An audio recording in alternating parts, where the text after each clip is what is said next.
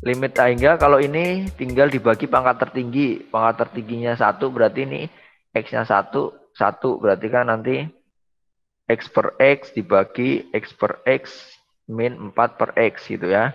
Ini satu satu berarti nilainya satu per satu hasilnya adalah satu gitu ya. Kemudian yang ini yang ini juga bagi pangkat tertinggi. Ini pangkat tertinggi dua, ini empat berarti hasilnya berapa gitu ya. Kemudian ini pangkat tertingginya sama ternyata dua dan dua. Ini hasilnya berapa. Kemudian yang ini 2x min 1, 3 min 4x. Nah, pangkat tertingginya X doang. Berarti ini nanti hasilnya adalah 2 per min 4. Kemudian yang ini juga sama, berarti min X kuadrat, pangkat tertingginya X kuadrat, berarti ini min 1 per min 2, berarti min setengah gitu ya. Kemudian yang ini, ini dikalikan dengan sekawan, jadi nanti bentuknya begini. Akar 2X kuadrat ditambah 3 min akar 2x kuadrat tambah 5. Dikalikan sekawan ya. Jadi akar 2x kuadrat ditambah 3 ditambah akar 2x kuadrat tambah 5 per akar 2x kuadrat tambah 3 ditambah akar 2x kuadrat tambah 5. Gitu ya. Ini tinggal kalikan sekawan, nanti ketemu hasilnya. Kemudian di apa namanya dihitung-hitung ketemu hasilnya. Kemudian ini limit x 2 dari kanan, limitnya x pangkat 3 per x min 2. Nah, ini kan ada limit 2 dari kanan dari sebuah fungsi. Nah, ini nilainya berapa? Karena ini limitnya 2 dari kanan, kemudian pangkat tertingginya x pangkat 3, berarti kan ini nanti ada 1 per 0 gitu kan. Eh, 1 per 0. Saya ulangi. Ada kan limit X mendekati 2 dari kanan. X pangkat 3 per X min 2 gitu kan. Nah ini kan 2 dari kanan. 2 dari kanan berarti dilihat ini ada sebuah garis bilangan. Ya ketika kita masukkan 2, 2 min 2 kan 0. 2 pangkat 3 berarti ada suatu nilai di atas per 0 gitu kan. Artinya dia tidak terdefinisi gitu kan. Nah, karena tidak terdefinisi berarti di sini akan ada titik dua, ya. Nah, dilihat dari sebuah fungsi ini ternyata dua dari kernel hasilnya di nol dia tidak terdefinisi, berarti akan ada di sini yang bulat kosong. Nah, kemudian didekati dari kanan, berarti dari kanan. Nah, karena dari kanan berarti limit dua dari kanan fungsi ini berarti nilainya berapa? Berarti nilainya tak hingga. Nah, nanti kalau ketemu lagi limit X mendekati 2 dari kiri, fungsinya sama dengan ini, maka dia minta hingga. Itu ya. Karena dia membu karena si fungsi 2 dari kiri dan dari eh, dari kiri dan dari kanannya itu dia tidak terdefinisi. Nah, ini ada hubungannya dengan mencari asimtot tegak dan asimtot datar.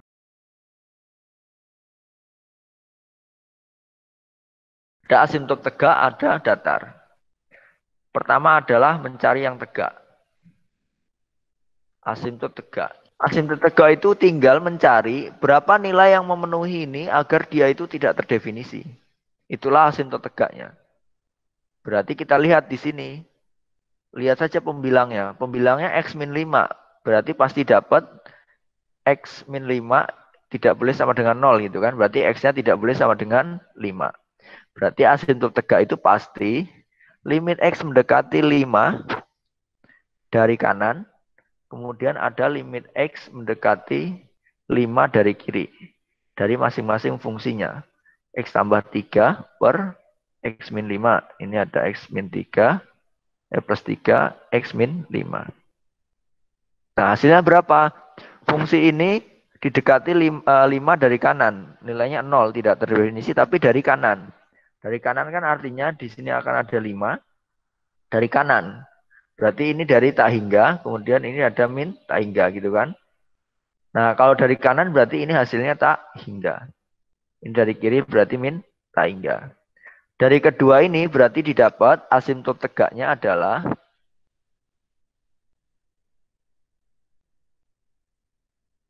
adalah X sama dengan li, 5. Sekarang masuk ke asimtot datar. Asimtot datar itu gimana? Asimtot datar itu adalah tinggal fungsi ini kita limitkan ke tak hingga dan min tak hingga. Limit X-nya mendekati tak hingga, dari X tambah 3 per X min 5. Kemudian ada limit X mendekati min tak hingga dari X plus 3 per X min 5. Dicek limitnya. S menuju tak hingga dimasukkan. Ternyata ini pangkat tertingginya adalah 1 dan 1. Berarti nilainya 1. Ini juga sama, berarti nilainya sah 1. Berarti dari sini didapat asimtot datar adalah Y sama dengan sa, 1. Ini soal-soal gampang yang tahun lalu keluar di ujian dan banyak yang enggak banyak yang lupa atau banyak yang enggak bisa. Gitu ya. Contoh selanjutnya adalah fungsinya itu. Misalkan fungsinya adalah X kuadrat plus 2X ditambah 8 per X kuadrat min 9. Nah, suruh mencari asimtot tegak dan datarnya. Dari sini tegaknya apa? Asimtot tegaknya. Dari sini berarti tinggal kita bawahnya kita samakan, eh samakan, kita faktorkan, kita sederhanakan. Berarti ada X min 3, ada X plus 3. Fungsinya X kuadrat ditambah 2X plus 8. Nah, tegak itu gimana? Tegak itu lihat si penyebutnya ini berapa si pembuat nolnya. Agak dia tidak terdefinisi di mana, yaitu itu akan menjadi uh, kandidat asimtot tegak. Berarti di sini pasti ada X-nya sama dengan 3 dan sini X-nya sama dengan min 3.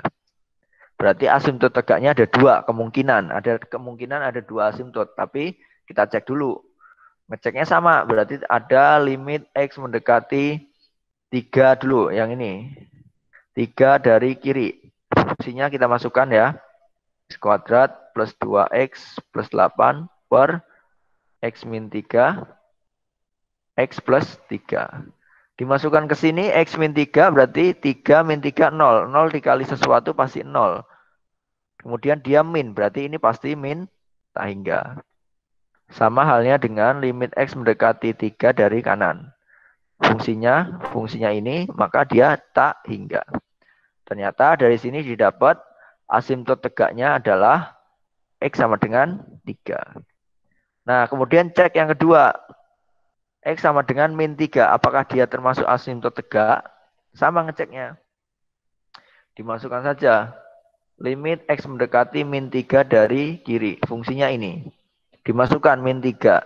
Min 3 berarti min 3 per 3 0. 0 dikalikan sesuatu, berapa penilainya akan 0.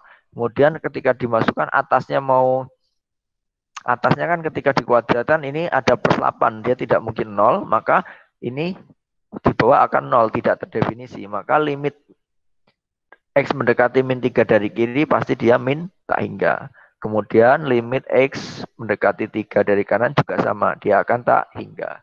Dari sini didapat asimtot tegaknya adalah X sama dengan min 3. Nah, dari dua ini didapat berarti asimtot tegaknya adalah X sama dengan 3 dan X sama dengan min 3. Gitu ya. Kemudian cek asimtot datarnya. Cek asimtot datar. Datarnya itu sama, berarti tinggal kita buat. Kalau datar itu ah, kebanyakan pasti cuma ngeceknya fungsi ini kita limitkan ke dua. Tak hingga dan min tak hingga. Berarti kita buat limit X mendekati tak hingga dulu dari fungsi fx. Nah ini kita masukkan. Fungsi awalnya adalah ini. Pangkat tertingginya adalah X kuadrat. X kuadrat. Berarti ini ketika kita limitkan hasilnya 1.